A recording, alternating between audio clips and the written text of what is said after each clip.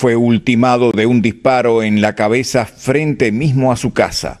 El cuerpo de la víctima fue encontrado por un funcionario policial que pasaba por el lugar. Comparece personal de sesión al 15 y encuentra sentado sobre una silla ya, ya muerto con un disparo de entrada en una de las, de las de, la, vista, digamos, en, el ojo, sin entrada de salida a una persona muerta. ¿La tarea policial tuvo facilitada porque el homicida se entrega?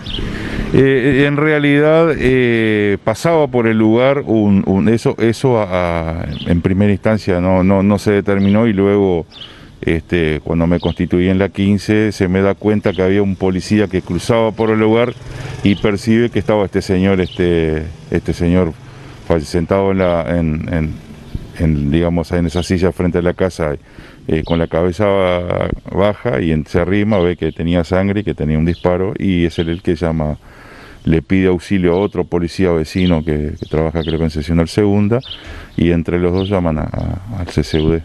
La víctima y el victimario, sin antecedentes ambos, eran familiares que nada lo, lo, que resalta es que no, ambos no tienen antecedentes, no tienen este, anotaciones en la comisaría, porque por ahí podría haber surgido algún tipo de denuncias o quejas de uno al otro. En realidad no había.